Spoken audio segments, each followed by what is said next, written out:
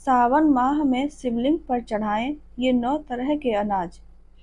भगवान शिव जी के प्रिय माह सावन की शुरुआत 22 जुलाई 2024 से होने वाली है।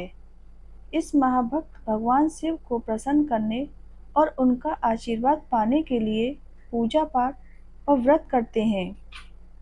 वैसे तो सावन माह में अभिषेक का खास महत्व है, लेकिन इस माह पूजा पाठ और अभिषेक के साथ भगवान को अराज चढ़ाने का भी विधान है। इसे शिवा मुट्ठी कहा जाता है।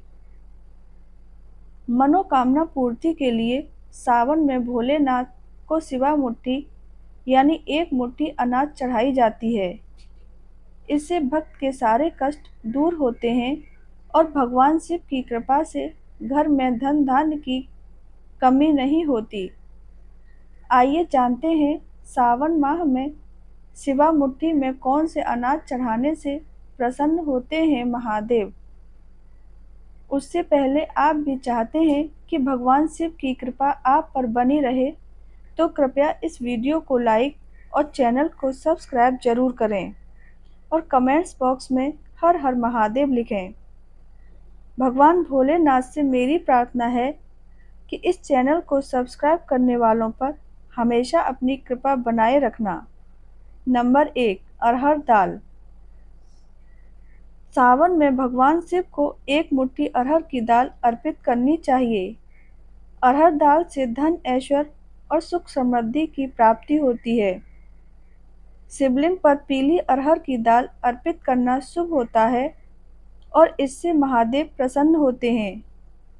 बताया जाता है कि जो जातक हर रोज शिवलिंग पर अरहर की दाल या फिर अरहर की दाल के पत्ते अर्पित करता है, उनके जीवन में हमेशा धन व ऐश्वर्य बना रहता है और परिवार में सुख समृद्धि बनी रहती है।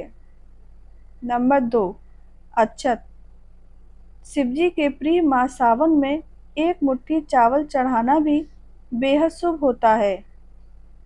इससे धन लाभ होता है और धन संबंधी परेशानियाँ भी समाप्त होती हैं। लेकिन इस बात का विशेष ध्यान रखें कि सिवा मुट्ठी के लिए आप जो अच्छत ले रहे हैं, वह साबुत हो। अच्छत का कोई भी दाना टूटा हुआ न हो। नंबर तीन, गेहूँ। सावन माह में शिवजी को एक मुट्ठी गेहूँ चढ़ाने से व्यक्ति को सांसारिक सुखों की प्राप्ति होती है। इसके साथ ही विवाह में आ रही बाधाएँ भी दूर होती हैं। संतान सुख की प्राप्ति के लिए आप सावन में सिवा मुट्ठी गेहूँ ज़रूर चढ़ाएँ। नंबर चार, उड़द। कहा जाता है कि सावन के महीने में शिवलिंग पर उड़द चढ़ाने से ग्रह दोष दूर होते हैं और शनि पीड़ा शांत होती है। नंबर पाँच, मूंग दाल।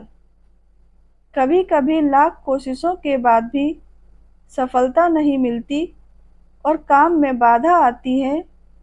ऐसे में व्यक्ति को सावन के महीने में शिवलिंग पर मूंग दाल चढ़ाना चाहिए।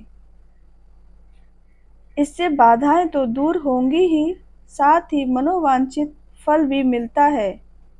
नंबर छः चने की दाल।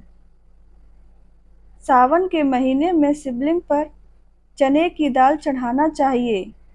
जीवन में यदि आपका भाग साथ नहीं दे रहा आर्थिक परेशानियाँ हैं